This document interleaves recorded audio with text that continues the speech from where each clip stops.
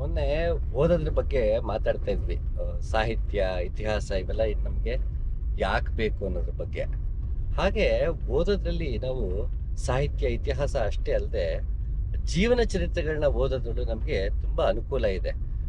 ಒಂದು ನಾವೀಗ ಸಾಹಿತ್ಯಗಳದೇ ಓದ್ತೀವಿ ಅಂತ ಅನ್ಕೋಣ ಬೇಂದ್ರೆ ಅಜ್ಜ ಡಿ ವಿ ಜಿ, ಹಾಗೆ ತೇಜಸ್ವಿ, ಕುವೆಂಪು, ಹೀಗೆ ಹಲವಾರು ಜನ ಸಾಹಿತಿಗಳು ಬದುಕು ಮತ್ತೆ ಬರಹದಲ್ಲಿ ಯಾವುದೇ ವ್ಯತ್ಯಾಸವಿಲ್ಲದೆ ಬದುಕದಂಥವ್ರು ಕೂಡ ನಮ್ಮ ಕಣ್ಮುಂದೆ ಮುಂದೆ ಇದ್ರು ಮತ್ತೆ ಇದಾರೆ ಕೂಡ ಈಗಲೂ ಹಲವಾರು ಜನ. ಇಲ್ಲ ಅಂತ ನಾನು ಅದನ್ನ ಹೇಳೋದಿಲ್ಲ.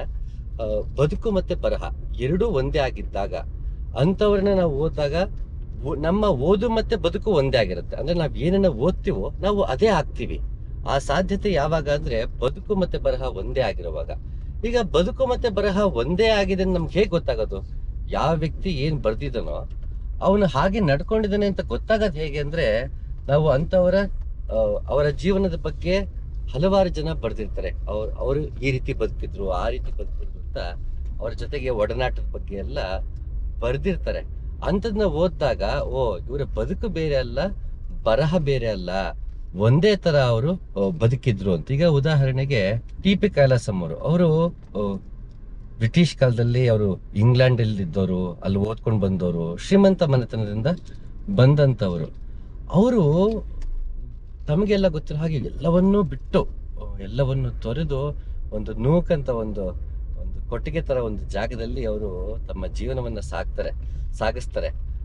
ಯಾಕೆ ಅಂತ ಕೇಳಿದಾಗ man cannot be happy unless is miserable ಅಂತ ಹೇಳ್ಬಿಡ್ತಾರೆ.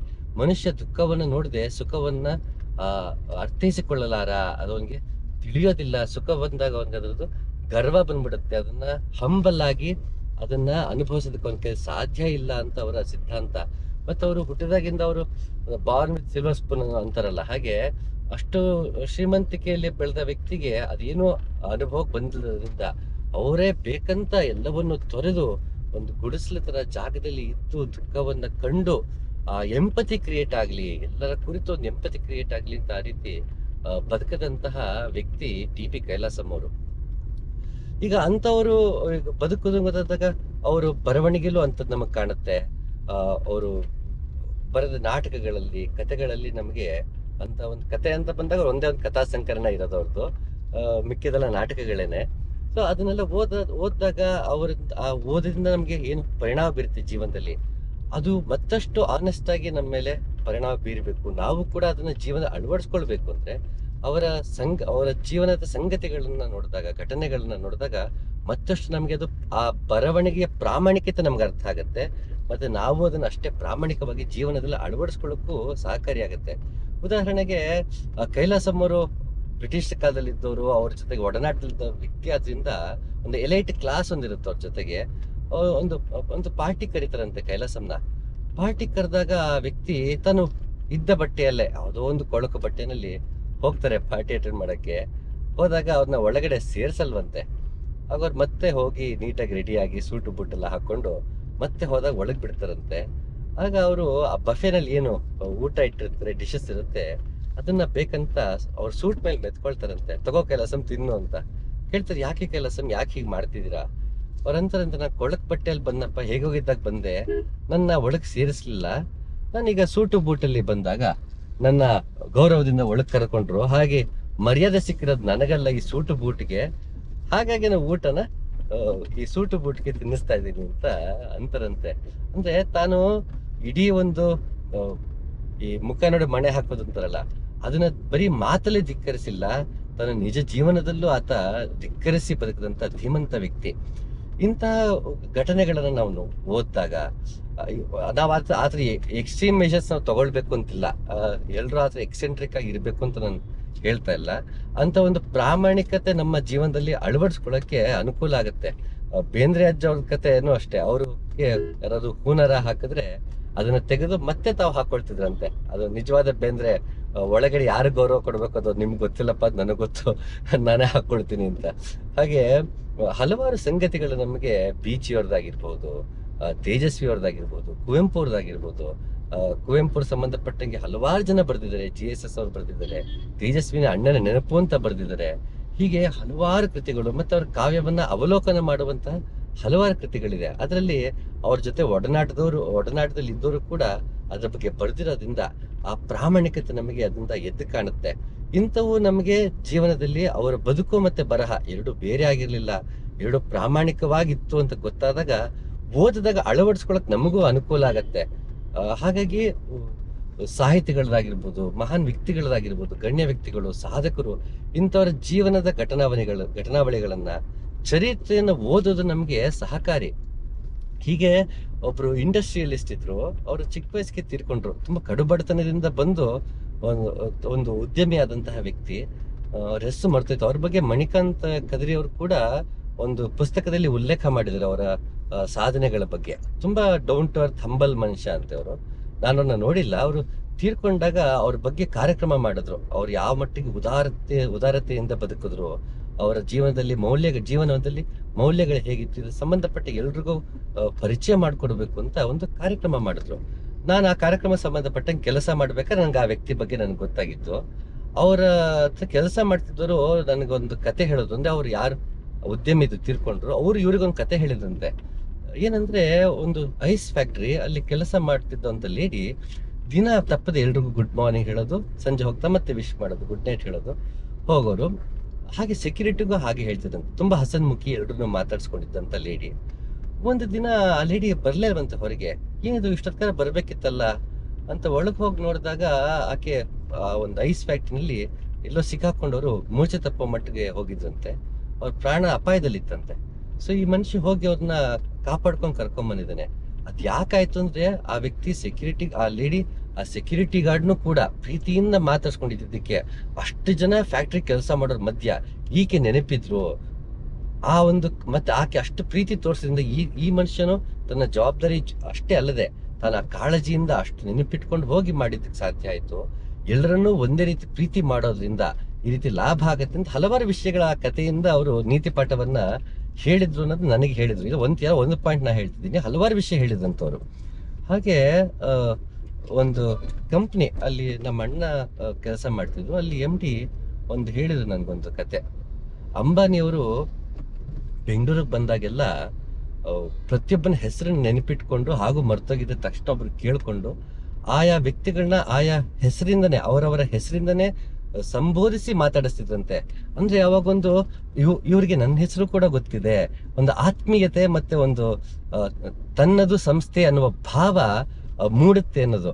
ಹೀಗೆ ಹಲವಾರು ವಿಷಯಗಳು ಅವರಿಂದ ಕಲಿಯಕ್ಕೆ ಸಿಗತ್ತೆ. ಈ ರೀತಿ ನಾವು ಸಾಧಕರ ಮತ್ತೆ ಸಾಹಿತಿಗಳ ಚಿಂತಕರ ಜೀವನವನ್ನ ನಾವು ನೋಡಿದಾಗ ಮತ್ತೆ ಹಾಗೆ ಅದು ಅವರು ಬರೆದಿದ್ದ ಕೃತಿಗಳನ್ನು ಓದಿದಾಗ ನಮಗೆ ಜೀವನ ಅಳವಡಿಸ್ಕೊಳ್ಳೋದಕ್ಕೆ ಸುಲಭ ಆಗತ್ತೆ. ಉದಾಹರಣೆಗೆ ಗುಂಡಪ್ಪನವರು ಜ್ಞಾಪಕ ಚಿತ್ರಶಾಲೆ ಅಂತ ಒಂದು ಎಂಟು ವಾಲ್ಯೂಮ್ ಪುಸ್ತಕ ಅನ್ಸುತ್ತದು.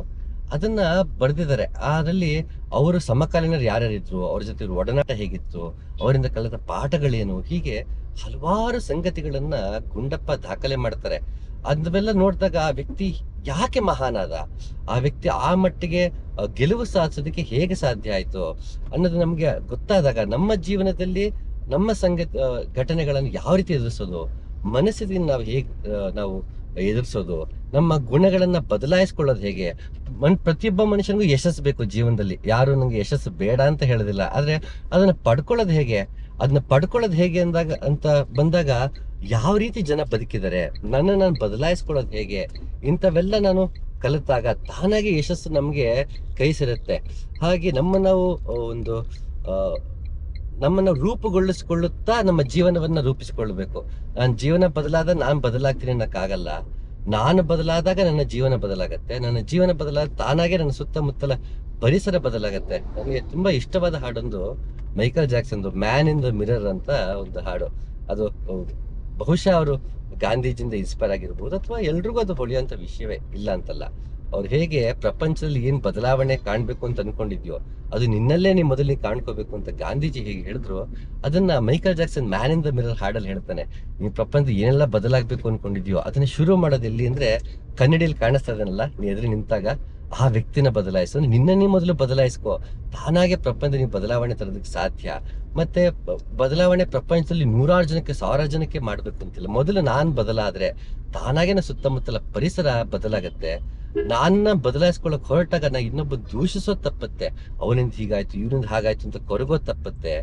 ನಾವು ಒಂದು ಸಮಸ್ಯೆ ಬಂದಾಗ ಬಗೆಹರಿಸ್ಕೊಳ್ಳೋದು ಹೇಗೆ ಅನ್ನೋ ಕಡೆ ಹೆಚ್ಚು ಗಮನ ಕೊಡ್ತೀವಿ. ಇಲ್ಲಾಂದ್ರೆ ಇನ್ನೊಬ್ಬನ ದೂಷಿಸೋದ್ರಿಂದನೋ ನನ್ನ ಟೈಮ್ ಸರಿಗಿಲ್ಲ ಅನ್ನೋದ್ರಿಂದನೋ, ಇದ್ರಲ್ಲೇ ನಮ್ಮ ಕಾಲಹರಣ ಮಾಡ್ತೀವಿ ಹೊರತು ನಾನು ಬದಲಾಗೋದು ಹೇಗೆ? ನನ್ನ ಪರಿಸ್ಥಿತಿ ಬದಲ ಮಾಡ್ಕೊಳ್ಳೋದು ಹೇಗೆ ಅಂತ ನಾನು ಯೋಚನೆ ಮಾಡಲ್ಲ. ಇಂಥದ್ದಾಗಬೇಕು ಅಂತಂದ್ರೆ, ಯಾರ್ಯಾರು ತಮ್ಮ ಜೀವನದಲ್ಲಿ ವ್ಯಕ್ತಿಯಾಗಿ ಬೆಳೆದಿರ್ತಾರೋ, ವ್ಯಕ್ತಿತ್ವವಾಗಿ ಬೆಳೆದಿರ್ತಾರೋ, ಮತ್ತೆ ತನ್ನ ಕ್ಷೇತ್ರದಲ್ಲಿ ಬೆಳೆದಿರ್ತಾರೋ, ಅಂತವರ ರೀತಿಯನ್ನು ನೋಡಿದಾಗ ನಾವು ತಾನಾಗೆ ಕಲಿತೀವಿ. ಇಲ್ಲಾಂದ್ರೆ ಈ ಪರ್ಸನಾಲಿಟಿ ಡೆವಲಪ್ಮೆಂಟ್ ಸಂಬಂಧಪಟ್ಟಂತ ಬಹು- ನಾನು ಎಲ್ಲ ಹೆಮ್ಮೆಯಿಂದ ಹೇಳ್ಕೊತಿಲ್ಲ ಅಥವಾ ಹೊಗಳ್ಕೊತಿಲ್ಲ. ಪುಸ್ತಕ ಅಂತ ಬಂದಾಗ ಎಷ್ಟು ಬಗೆಯ ಪ್ರಕಾರಗಳಿದೆಯೋ, ಕತೆ, ಕಾದಂಬರಿ, ಸಣ್ಣ ಕಥೆಗಳು ಕವನಗಳು, ಚುಟುಕುಗಳು ಸುಲಲಿತ ಪ್ರಬಂಧಗಳು ಶಾಸನಕ್ಕೆ ಸಂಬಂಧಪಟ್ಟದ್ದು, ಇತಿಹಾಸಕ್ಕೆ ಸಂಬಂಧಪಟ್ಟದ್ದು, ವಿಮರ್ಶಾ ಕೃತಿಗಳು, ಹಾಗೆ ಹಾಸ್ಯ ಕೃತಿಗಳು, ಅದರಲ್ಲೂ ಡೆವಿಲ್ಸ್ ಡಿಕ್ಷನರಿ ಅಂತ ಒಂದು ಪುಸ್ತಕ ಇದೆ. ಅದು ನನಗೆ ಗೊತ್ತಾಗಿದ್ದು ಹೇಗೆ ಅಂದ್ರೆ ಅನರ್ಥಕೋಶ ಅಂತ ಬರೀತಾರೆ. ಆ ಅನರ್ಥಕೋಶ ಇನ್ಸ್ಪೈರ್ ಆಗಿದ್ದು ಡೆವಿಲ್ಸ್ ಡಿಕ್ಷನರಿಯಿಂದ ಅಂತೆ. ಅದು ಓದ ತಕ್ಷಣ ತಕ್ಷಣ ಡೆವಿಲ್ ಡಿಕ್ಷನರಿ ತಗೊಂಡ್ ಬಂದು ಓದ್ಬಿಟ್ಟೆ. ಅದು ಒಂದೇ, ಒಂದು ಪದದನ್ನ ಒಂದು ಪದದಕ್ಕೆ ಏನ್ ಅರ್ಥ ನಮ್ಮ ಡಿಕ್ಷನರಿ ಸಿಗುತ್ತೋ ಅದಕ್ಕಿಂತ ಅನರ್ಥವಾಗಿ ಬರೆಯೋದು. ತಮಾಷೆಯಾಗೂ ಇರೋಂಥ ಕೃತಿ ಅದು. ಒಂದಿನ ಅದನ್ನ ಉದಾಹರಣೆಗೆ ತಗೊಂಡು ಈ ಅಗ್ನಿಹೋತ್ರಿ ಯಾರು ಅಂದ್ರೆ ಚೈನ್ ಸ್ಮೋಕರ್ ಅಂತ. ಹೀಗೆ ಫನ್ನಿಯಾಗಿ ಅದಕ್ಕೆ ಅರ್ಥಗಳನ್ನ ಕೊಡ್ತಾ, ಹಾಗೆ ವಿಡಂಬನಾತ್ಮಕವಾದದ್ದು ಇದೆ. ಸಟೈರ್ ಕೂಡ ಅದರಲ್ಲಿ ಇರುವಂತ ಕೃತಿ. ನಾ ಕಸ್ತೂರಿ ಅವ್ರದ್ದು ಅನರ್ಥಕೋಶ ಅಂತ. ಹೀಗೆ ಎಲ್ಲ ಬಗೆಯ ಪ್ರಕಾರಗಳನ್ನು ಓದದಂತ ಓದಕ್ಕೆ ಇಷ್ಟಪಡಂತ ವ್ಯಕ್ತಿ ನಾನು. ಆದ್ರೆ ನಾನು ಜೀವನ ಓದಿರ ಕೃತಿ, ಪುಸ್ತಕಗಳ ಪ್ರಕಾರ ಅಂತಂದ್ರೆ ಅದು ಬಹುಶಃ ಪರ್ಸನಾಲಿಟಿ ಡೆವಲಪ್ಮೆಂಟ್. ಯಶಸ್ಸಿಗೆ ಆರು ಮೆಟ್ಟಲು, ಯಶಸ್ಸಿಗೆ ಯಶಸ್ಸಿಗೆ ಏಳು ಮೆಟ್ಟಲು ಅನ್ನೋ ಪುಸ್ತಕಗಳನ್ನ ನಾನು ಓದಿಲ್ಲ.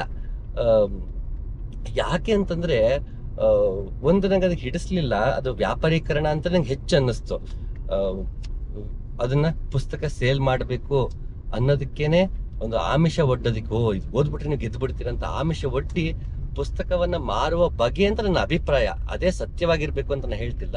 ಅದು ನನ್ನ ಅಭಿಪ್ರಾಯವಾದ್ದರಿಂದ ನಾ ಅದನ್ನು ಓದೋದಕ್ಕೆ ಹೋಗ್ಲಿಲ್ಲ. ಅದು ಬಹುಶಃ ಅದು ಓದಿ ಎಷ್ಟು ಜನಕ್ಕೆ ಪರಿಣಾಮ ಬೀರಿರ್ಬೋದು, ಫಲ ನೀಡಿರ್ಬೋದು, ಅದು ನನಗೆ ಗೊತ್ತಿಲ್ಲ. ಇದ್ದು ಇರ್ಬೋದು ಅದನ್ನ ಇಲ್ಲ ಅಂತ ಹೇಳಲ್ಲ. ಆದ್ರೆ ನನಗನ್ಸಿದ್ದು ಆ ಒಂದು ಭಾವವಾದ್ರಿಂದ ನಾನು ಅದನ್ನ ಮುಟ್ಲಿಲ್ಲ. ಬಟ್ ಹಾಗಂತ ಪರ್ಸನಾಲಿಟಿ ಡೆವಲಪ್ ಆಗೋದಿಲ್ವಾ? ಖಂಡಿತ ಆಗುತ್ತೆ.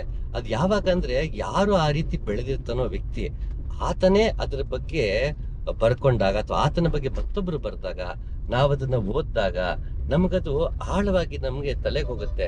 ಇದನ್ನ ಯೂಟ್ಯೂಬಲ್ಲಿ ಯಾರೋ ವಿಡಿಯೋಸ್ ನೋಡೋದ್ರಿಂದನೋ ಇನ್ಸ್ಟಾಗ್ರಾಮ್ ಅಲ್ಲಿ ನೋಡೋದ್ರಿಂದನೋ ಬರೋದಿಲ್ಲ. ಯಾಕೆಂದ್ರೆ ಒಂದು ವಿಡಿಯೋ ನೋಡಿರ್ತೀವಿ, ತಕ್ಷಣ ಮತ್ತೆ ಇನ್ನೇನೋ ವಿಡಿಯೋ ನೋಡ್ತೀವಿ. ನಮಗೆ ಆ ಅದೇ ಮನಸ್ಥಿತಿಯಲ್ಲಿ ನಾವು ಉಳ್ಕೊಳ್ಳೋದಿಲ್ಲ. ಯಾಕಂದ್ರೆ ತಕ್ಷಣ ಬೇರೆ ಒಂದು ಥಾಟ್ ಅದು ಪಾಪಪ್ ಆಗ್ಬಿಡುತ್ತೆ. ಇನ್ನೇನೋ ವಿಡಿಯೋ ನೋಡ್ತೀವಿ, ಮತ್ತೇನೋ ಮಾಡ್ತೀವಿ. ಅದು ನಮ್ಮ ತಲೆಯಲ್ಲಿ ಉಳ್ಕೊಳ್ಳೋದಿಲ್ಲ. ನಾನು ಮಲಗೋ ಮುಂಚೆ ಓದಿದಾಗ ದಿನ ಬೆಳಿಗ್ಗೆ ಶುರು ಮಾಡೋಕ್ಕೂ ಮುಂಚೆ ಯಾವುದೋ ಈ ತರ ಒಂದು, ದಿನಕ್ಕೊಂದು ಉದಾಹರಣೆ, ಜ್ಞಾಪಕ ಚಿತ್ರಶಾಲೆ. ದಿನಕ್ಕೊಂದು ಪುಟವನ್ನ ಓದ್ತೀನಿ. ಅಥವಾ ಯಶಸ್ವಿಯಾಗಿ ಇದ್ದಂತ ವ್ಯಕ್ತಿಗಳ ಘಟನಾವಳಿಗಳ ಬಗ್ಗೆ ಒಂದು ಪುಸ್ತಕ ತಗೊಂಡಿರ್ತೀವಿ. ಅಲ್ಲಿ ದಿನಕ್ಕೊಂದನ್ನ ಓದ್ತೀನಿ. ಈ ರೀತಿ ಮಾಡ್ಕೊಂಡಾಗ, ಮಲಗೋ ಮುಂಚೆ ಓದ್ತೀವಿ ಅಂದಾಗ, ಅದೇ ನಾವು ಸ್ಥಿತಿಯಲ್ಲೇ ನಾವು ಮಲಗಿದಾಗ, ನಮ್ಮ ಮೈಂಡ್ ಏನ್ ಮಾಡುತ್ತೆ ರಾತ್ರಿ ಎಲ್ಲ ಕಾಂಟಂಪ್ಲೇಟ್ ಮಾಡಿ, ಅದನ್ನ ಅದನ್ನ ಬೆಳಗ್ಗೆ ವ್ಯಕ್ತಿಗತ ವ್ಯಕ್ತಿಯ ನಮ್ಮ ನಡವಳಿಕೆಯಲ್ಲಿ ಅದು ರಿಫ್ಲೆಕ್ಟ್ ಆಗ್ತಾ ಹೋಗುತ್ತೆ. ವಿಡಿಯೋಸ್ ನೋಡೋದ್ರಿಂದ ಆಗೋದಿಲ್ಲ ಅನ್ನೋದು ನನ್ನ ನಂಬಿಕೆ. ಅದು ತಪ್ಪಿದ್ದು ಇರ್ಬೋದು ಸರಿ ಇದ್ದು ಇರ್ಬೋದು, ಅದು ನನಗೆ ಗೊತ್ತಿಲ್ಲ. ಬಟ್ ನನ್ನ ಜೀವನದಲ್ಲಿ ನಾ ಕಂಡ್ಕೊಂಡಂತ ಒಂದು ಅಭಿಪ್ರಾಯ ಅಂತ ಅದನ್ನ ಹೇಳ್ಬೋದು. ನಾನು ಅದನ್ನ ಸತ್ಯ ಅಂತ ಹೇಳೋದಿಲ್ಲ. ಅದು ನನ್ನ ನನ್ನ ಅಭಿಪ್ರಾಯ ಅಂತ ನಾನು ಹೇಳೋದಕ್ಕೆ ಇಷ್ಟಪಡ್ತೀನಿ. ಸೊ ಹೀಗಾಗಿ ಅಂತಹ ಕೃತಿಗಳನ್ನ ಓದಿದಾಗ ಟಾಲ್ಸ್ಟಾಯ್ದು ಒಂದು ಅದ್ಭುತ ಕೃತಿ ಇದೆ.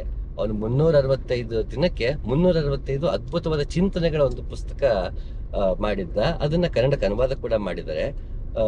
ಅದರಲ್ಲಿ ದಿನಕ್ಕೊಂದೊಂದು ವಿಷಯ, ಜೀವನವನ್ನ ಹಸನಾಗಿ ಸೊಗಸಾಗಿ ಅರ್ಥಪೂರ್ಣವಾಗಿ ಬದುಕಲಿಕ್ಕೆ ದಿನಕ್ಕೊಂದೊಂದು ವಿಷಯವನ್ನ ಮುನ್ನೂರ ಅರವತ್ತೈದು ದಿನಕ್ಕೆ ಮುನ್ನೂರ ಅರವತ್ತೈದು ಪುಟಗಳದ್ದು ಕೊಟ್ಟಿದ್ದಾನೆ. ಅದು ಅದು ನಾನು ಕೂಡ ಅದನ್ನ ಜೀವನದಲ್ಲಿ ಅಳವಡಿಸ್ಕೊಳ್ಳೋದಕ್ಕೆ ಆ ಪುಸ್ತಕ ತಗೊಂಡು ದಿನ ಒಂದು ಪೇಜ್ ಓದೋದು ಅದು ಜೀವ ಅದು ಹೇಳಿ ಏನು ಹೇಳಿದ್ರನ್ನ ಮನದಟ್ಟು ಮಾಡ್ಕೊಳ್ಳೋದಕ್ಕೆ ಪ್ರಯತ್ನ ಪಡೋದು ಅವಕಾಶ ಸಿಕ್ಕಿದಾಗ ಅದನ್ನ ಅಳವಡಿಸ್ಕೊಳ್ಳೋಂತ ಆ, ಪ್ರಯತ್ನವನ್ನ ಮಾಡಿದ್ದೆ. ಹಾಗೆ ಇವಾಗ ಉದಾಹರಣೆಗೆ ಇಕಿಗಾಯ್ ಅಂತ ಒಂದು ಪುಸ್ತಕ ಇದೆ. ಅದೀಗ ಎಲ್ಲರೂ ಫೇಮಸ್ ಆಗಿದೆ ಎಲ್ರಿಗೂ ಗೊತ್ತಿರುತ್ತೆ. ಕನ್ನಡಕ್ಕೂ ಮೊನ್ನೆ ಅನುವಾದ ಮಾಡಿದ್ದಾರೆ ಅನ್ಕೊಳ್ತೀನಿ. ಅದು ತನ್ನ ಜೀವನದಲ್ಲಿ ಉದ್ದೇಶವನ್ನ ಕಂಡುಕೊಳ್ಳೋದು ಪರ್ಪಸ್ ಆಫ್ ಲೈಫ್ ಅಂತ ಏನಂತಾರೆ, ಅದನ್ನ ಕಂಡುಕೊಳ್ಳೋದಕ್ಕೆ ಸಹಕಾರಿಯಾಗುವಂತಹ ಪುಸ್ತಕ. ಅಂತವನ್ನ ಓದಿದಾಗ ನಮಗೆ ಮನಸ್ಸು ಮೇಲೆ ತುಂಬಾ ಪರಿಣಾಮ ಬೀರುತ್ತೆ. ನಾವು ವಿಡಿಯೋಸ್ ನೋಡುವಾಗ ಒಂದು ವಿಡಿಯೋ ನೋಡ್ತೀವಿ, ಮತ್ತಿನ್ನೇನು ನೋಡಿರ್ತೀವಿ, ಅಥವಾ ಅದನ್ನ ಹೇಳುವ ರೀತಿ ಪುಸ್ತಕದಲ್ಲಿ ಓದಿದಾಗ ಮನದಟ್ಟಾಗುವ ರೀತಿಗೂ ನಾವು ವಿಡಿಯೋ ನೋಡಿದ ಮನದಟ್ಟಾಗುವ ರೀತಿಗೂ ತುಂಬಾ ವ್ಯತ್ಯಾಸ ಇದೆ. ಹಾಗೆ ಯಶಸ್ವಿ ಆಗಿರುವಂತಹದ್ದು ಯಾವುದೇ ಕ್ಷೇತ್ರ ಆಗಿರ್ಬೋದು ಅಂತವರ ಜೀವನದ ಜೀವನದ ಘಟನೆಗಳನ್ನ ನೋಡ್ತಾ, ಹಾಗೆ ಆತ ಬರೆದಿದ್ರೆ ಆ ಬರಹವನ್ನು ನಾವು ಓದ್ತಾ ಹೋದಾಗ, ಆ ಬದುಕು ಮತ್ತೆ ಬರಹ ಏ ಹೇಗಿದೆ, ಅಷ್ಟೇ ಪ್ರಾಮಾಣಿಕತೆ, ಓದುಗನ ಜೀವನದಲ್ಲೂ ಓದು ಮತ್ತೆ ಬದುಕು, ಇವೆರಡೂ ಅಷ್ಟೇ ಪ್ರಾಮಾಣಿಕವಾಗಿ ಅದು ರಿಫ್ಲೆಕ್ಟ್ ಆಗತ್ತೆ ಅನ್ನೋದು ನನ್ನ ನಂಬಿಕೆ. ನಾನಿಲ್ಲಿ ಹಸನ್ ಮಾತಾಜಿ ಅನ್ನೋರ ಗದ್ಗೆ ಇದೆ, ಶ್ರೀರಂಗಪಟ್ಟಣದಲ್ಲಿ. ಅಲ್ಲಿಗೆ ಬಂದಿದ್ದೆ. ಇಲ್ಲಿ ಆಶ್ರಮದ ತಟದಲ್ಲೇ ಕಾವೇರಿ ನದಿ ತುಂಬ ಅದ್ಭುತವಾಗಿದೆ. ಅಥವಾ ಕಾವೇರಿ ತಟದಲ್ಲಿ ಆಶ್ರಮ. ಎರಡೂ ಹೇಳ್ಬೋದು. ಮನುಷ್ಯನಿಗೆ ಇವತ್ತು ಹೆಚ್ಚಾಗಿ ಕೊರತೆ ಇರೋದೇ ಪ್ರೀತಿ, ವಿಶ್ವಾಸ. ಅದು ನಾವು ಹುಡ್ಕೊಂಡು ಹೋಗೋದಕ್ಕಿಂತ ಕೊಡೋದು ತುಂಬ ಮುಖ್ಯ. ನಾವು ಯಾವಾಗ ಎಷ್ಟು ಇನ್ನೊಬ್ಬರಿಗೆ ಪ್ರೀತಿಯನ್ನು ಕೊಡ್ತೀವಿ, ಅಷ್ಟೇ ನಾವು ಪಡಿತೀವಿ. ಇದು ಕುಡುಕೊಳ್ಳುವಿಕೆಯ ಪ್ರಪಂಚ ಇದು. ಅದು ನಾವು ಬದಲಾಯಿಸೋಕ್ಕಾಗಲ್ಲ. ಒಂದು ರೀತಿ ಅದು ನಿಯಮ ಕೂಡ ಆಗ್ಬಿಟ್ಟಿದೆ. ಹಾಗೆ ನಾವು ಪ್ರೀತಿಯನ್ನು ಪಡಿಬೇಕು ಅಂದರೆ ಮೊದಲು ಪ್ರೀತಿಯನ್ನು ನೀಡಬೇಕು. ಇದು ತೀರಾ ಅಧ್ಯಾತ್ಮ ಬಿಟ್ಟು ನೋಡೋದು ಸಾಮಾಜಿಕವಾಗಿ ನೋಡಿದಾಗಲೂ ಕೂಡ ನಾವು ಪ್ರೀತಿಯನ್ನು ಕೊಟ್ಟು ಪ್ರೀತಿಯನ್ನು ಪಡಿಬೇಕು. ಗೌರವವನ್ನು ಕೊಟ್ಟು ಗೌರವವನ್ನು ಪಡಿಬೇಕು.